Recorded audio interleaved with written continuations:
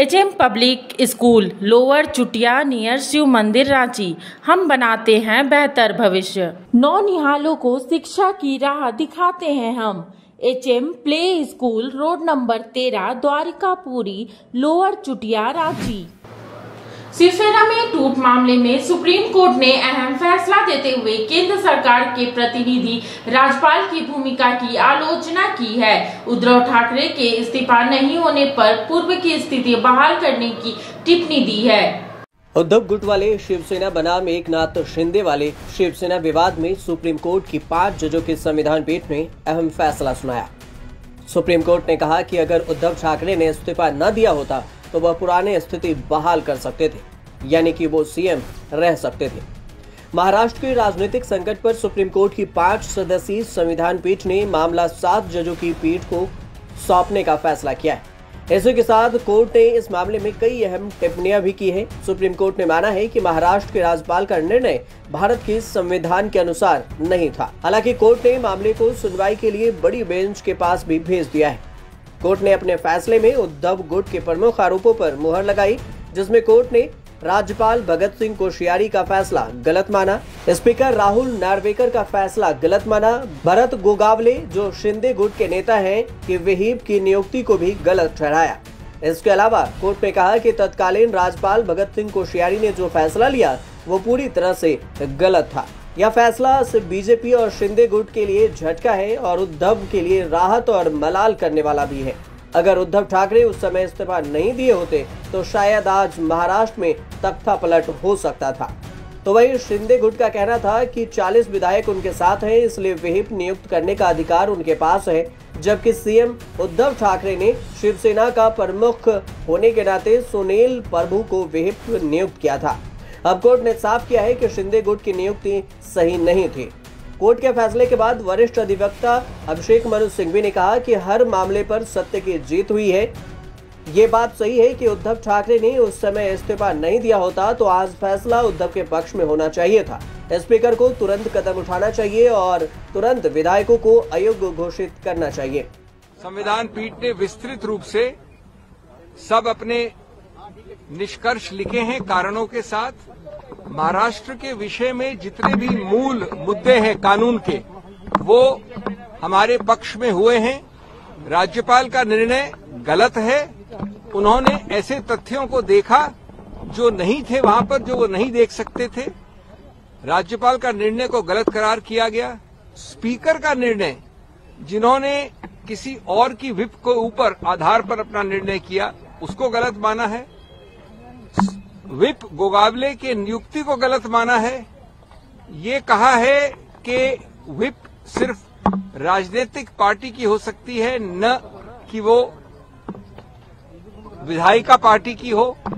तो हर महत्वपूर्ण कानूनी मुद्दे पे सत्य की विजय हुई है। हम नमन करते हैं, उच्चतम न्यायालय को ये बात सही है कि माननीय उद्धव ठाकरे जो उस वक्त मुख्यमंत्री थे, उन्होंने इस्तीफा दिया, इसलिए उनको रिलीफ नहीं दी।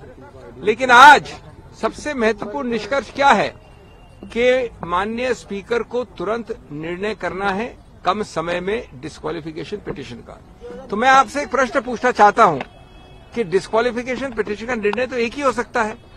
उन्होंने विप का अस्वीकारिता की लोगों ने, उन्होंने विप का उल्लंघन किया।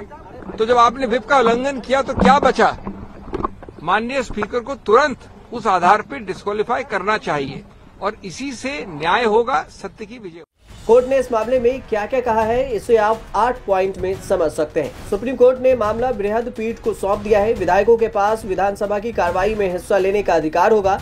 दूसरा, तत्कालीन राज्यपाल ने शिंदे गुट के चौतीस विधायकों के अनुरोध पर फ्लोर टेस्ट कराने के निर्देश दिए थे। सुप्रीम कोर्ट ने इस पर कहा कि फ्लोर टेस्ट कराने का उनका फैसला सही नहीं था, क्योंकि राज्यपाल के पास इस निष्कर्ष पर पहुँचने का कोई ठोस आधार नहीं था। कि उद्धव ठाकरे बहुमत खो चुके हैं। तीसरा की शीर्ष अदालत ने कहा कि चूँकि उद्धव ठाकरे ने फ्लोर टेस्ट का सामना किए बिना ही इस्तीफा दे दिया था।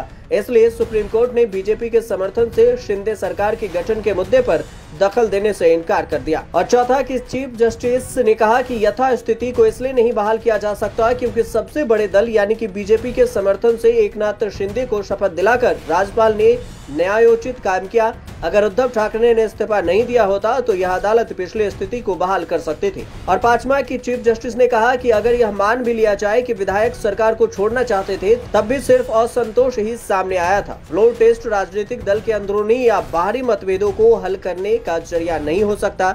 और छठा की पार्टी के अंदर इस पर मतभेद हो सकते हैं कि वे किसी सरकार को समर्थन करें या नहीं करें। उसके सदस्य नाखुश हो सकते हैं, लेकिन राज्यपाल उन शक्तियों का इस्तेमाल नहीं कर सकते जो उन्होंने प्रदत्त नहीं है। सातवा के राज्यपाल राजनीति के मैदान में आकर पार्टी के अंदरूनी या बाहरी विवाद को सुलझाने की भूमिका नहीं निभा सकते। वे सिर्फ़ इस आधार पर फैसला नहीं ले सकते थे कि कुछ सदस्य शिवसेना को छोड़ना चाहते हैं। और आठ माह के सुप्रीम कोर्ट ने कहा कि फ्लोर टेस्ट कराने का राज्यपाल का फैसला गलत था राज्यपाल की तरफ़ से विवेकाधिकार का इस्तेमाल संविधान के अनुरूप नहीं था।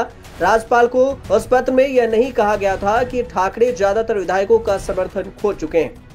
लेकिन अब भले ही इस फैसले से शिंदे सरकार को कोई खतरा पैदा नहीं हुआ हो, लेकिन कोर्ट ने एक लकीर ज़रूर खींच दी है। आने वाले दिनों में इस तरह की परिस्थितियों में राजनीतिक दल मनमानी नहीं कर सकते हैं। अब सात जजों के पीठ नवाब रेबिया राज्यपाल तथा स्पीकर की भूमिका पर फैसला लेगी, जिस पर कितना समय लगेगा, ये भी फ़िलहाल तय नहीं है। आपको बता दें कि इससे पहले शरद पवार ने भी उद्धव के इस्तीफा देने के फैसले को गलत बताया था। पवार ने कहा था कि उद्धव को महा विकास अघाड़ी के अन्य दलों के साथ मिलकर यह फैसला लेना चाहिए था।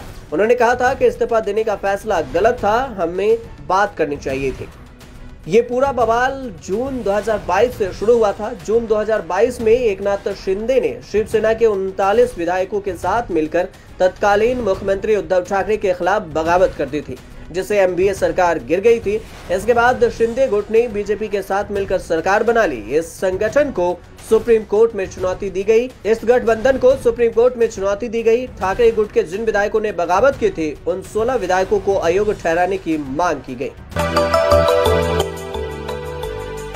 मिनी लंदन, मैकलुस्कीगंज, प्रकृति की गोद में बसा ड्रीम डेस्टिनेशन आपका कर रहा है इंतज़ार। आइए अपने यादगार लम्हों को बिताइए ड्रीम डेस्टिनेशन में। राजधानी रांची से महज 50 किलोमीटर दूर आपका अपना ड्रीम डेस्टिनेशन। जब टूटती है आप जब थकती है सांस, जब रूठते हैं अपने मुँह मोड़ता है जमाना। जब अंगड़ाई लेता है संकल्प, फिर बनती है कहानी। बनते हैं अनमिट निशान। देखिए मेरे साथ, संघर्ष की दास्तान।